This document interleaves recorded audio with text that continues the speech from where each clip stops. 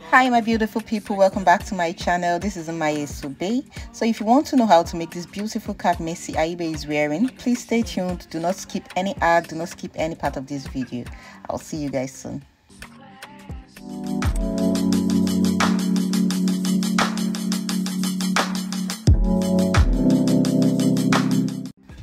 okay guys we're going to be working with this carry board or it's called cardboard. Length i'm using is 23.5 and the width is 3 so my client's head size is 23 inches and i added extra 5 0.5 inches for allowance. Now what we're going to be doing next is to bring our aso oke and then we are going to be cutting out 25 inches of the aso oke that is 23 inches of our head measurement plus extra two allowances. So that's how we're going to be cutting it off. And now we're, not going to stop there. I'll tell us the next step we're going to follow. Now for the width of our shoe key we are going to be measuring out about five inches for the width. That is to say having an extra about an inch on the top and on the bottom side of the length of our our cardboard so we're going to have five inches of the width of our shoking. So i'm marking it out now. And next thing i'm going to do is to gently cut it off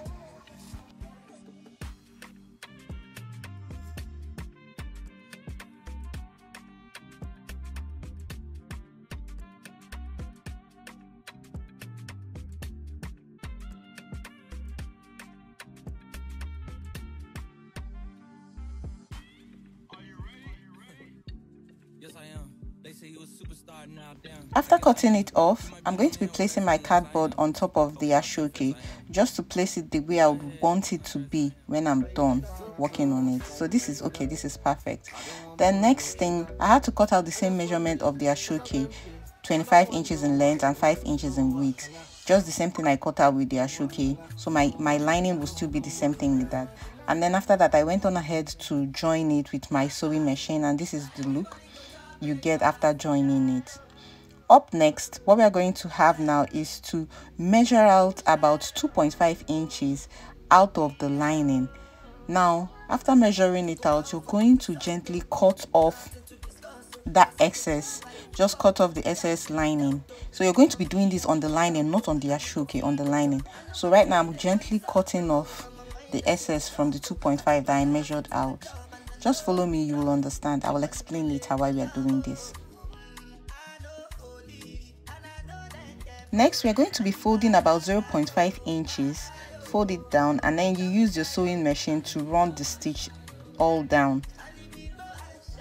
Now this is what it looks like after running my stitch. The next thing i'm going to do is to fold it.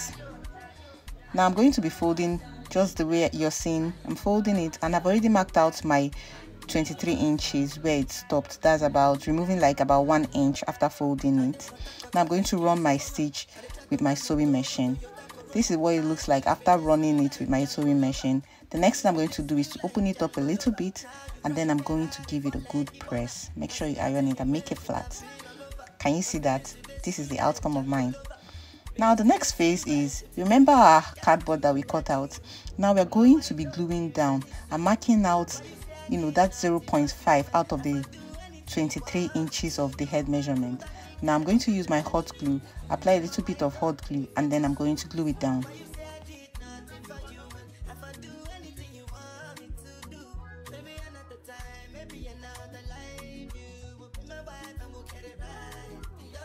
Now to go ahead and ensure that the head circumference is still 23 inches, I went on ahead to measure it. If you measure yours and yours is not up to the head circumference, try and repeat it again. Up next, we are going to be flipping or rather turning our shoke inside out. Remember our shoke with the lining. And after you're done doing that, you're going to be putting your cardboard inside the aso oke and the lining that has been joined together. Now there's something i'm doing here. You see that area where i joined my aso oke and the area where i joined my cardboard? I'm trying to make sure that both of them are on the same line. So you just try your best because you don't want to have bulginess in areas that you don't want to see. You understand better when we're done with this cap. Now guys you've gotten to this point of this video and you have not yet joined the family you haven't clicked on that subscribe button what are you waiting for? Oh yeah go and tap on the subscribe button join the family and everything that has to do with headgear aso oke fascinator you get it on this channel. Oh yeah tap on the subscribe button. Good thank you. Now so guys after fixing the cardboard inside you will notice that you have that your extra one inch coming out on both side sides the next thing you're going to do is with your hot glue apply a little bit of your glue whatever glue that works for you just go ahead and use it. Apply the glue and then you begin to gently fold and try your best to make it neat because this is the area that will be sitting on your client's head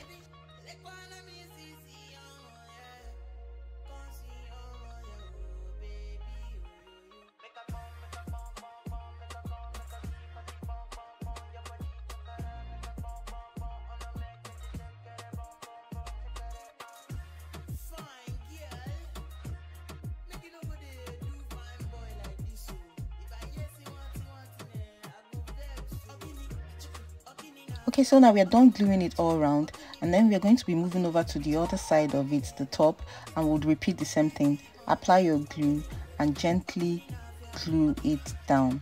I mean the aso oke area. You notice that it's the aso oke area you're gluing not the lining part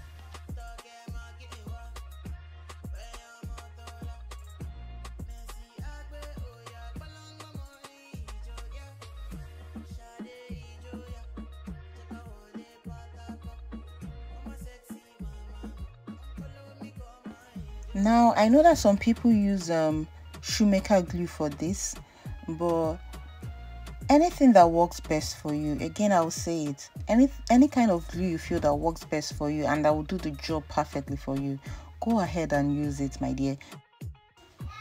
Now once you're done with the other side of it you'll notice that the lining area is still hanging in there. So you're going to gently apply your glue and then glue it. So this is the work after applying it and closing it all up. It looks neat and it looks perfect.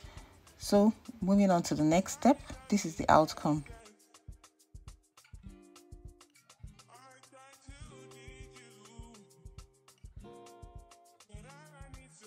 so now that we are done with the base of the cap we're going to be working on the top. So i have this one inch foam. You can use half inch foam. I think that's even better. This one inch foam i cut out a little piece of it. And next thing i'm going to do is to cut out a circle measuring it with the base that we've already formed. Now if you notice very well i'm giving it like one inch room allowance extra. Sorry about that. That's my baby's hand. So i'm giving it one inch extra allowance as I'm cutting it all around so this is the outcome after cutting it. The next thing you're going to do is the aso oke that I used to cover it. So I had to join about 15 inches of two aso oke and then I placed it and I went on ahead to cut out using the foam that I've already used to cut out. And remember give another one inch allowance for it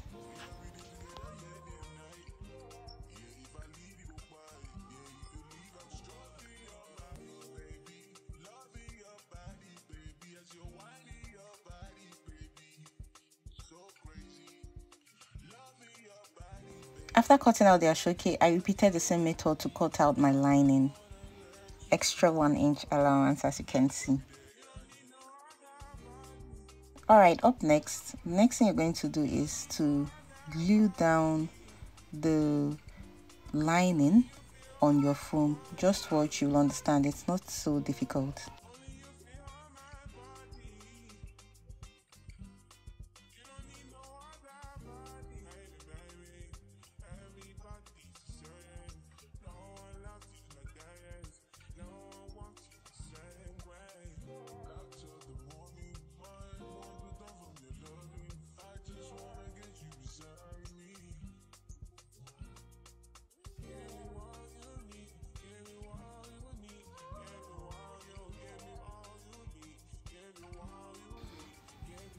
Once you're done gluing this is what it should look like.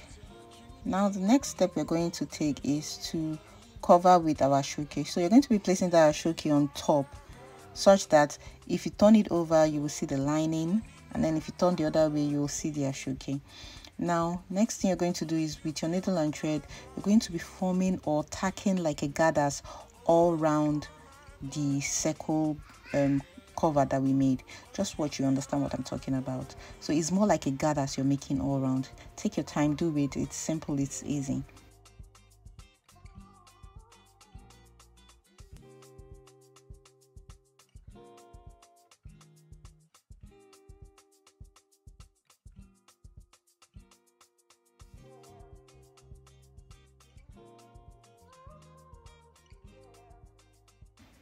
okay so this is what it looks like once you're done tacking it all around. The essence of this is to give it that curvy shape so that by the time you're putting it inside the cap it will lap well and sit properly. So now i'm just trying it out to you know see what it will look like by the time i glue it. So this is just a test run and i think it will sit well. All right let's go to the next phase which is gluing it down now I am using my shoemaker glue. I'm going to be applying the shoemaker glue all around the, um, the inside of the base and also on the top parts that we made. So I'm gently applying the glue on the inside, the area where I want it to be sitting. Now, so you don't get confused about the area where you should be gluing. You know that area where you applied your lining and glued it down to the cap. That's where you'll be applying your glue. And then after doing that, you also be gluing the top parts that you'll be using to cover the cap. So gently apply the glue on the tip of this area. Now, once you're doing done applying the glue, leave it out, leave it to sit out in the air and air dry for about five minutes. And once it was done, I started putting it from the underneath part of it to the top part where I want to glue it. So gently put it there, give it a very good press hold, hold, take your time, allow it to dry.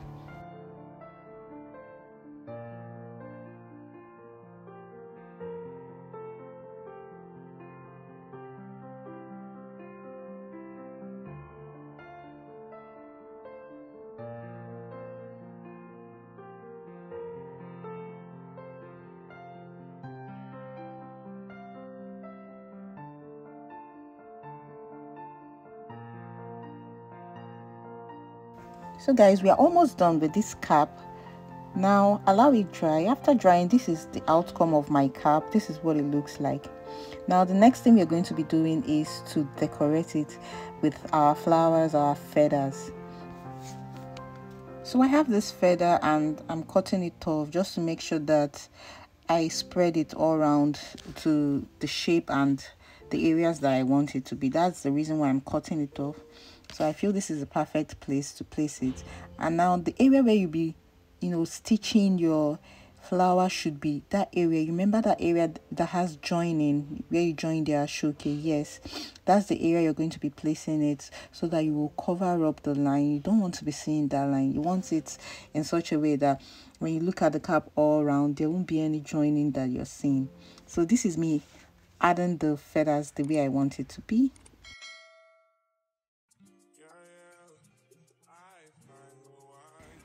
So now at this point, I felt that gluing down the feathers would be much faster and better. So I had to glue it down with my hot glue.